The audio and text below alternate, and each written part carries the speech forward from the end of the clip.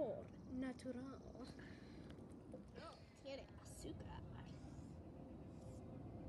También no tiene sodio. ¡Wow! Es lo en tu mercado más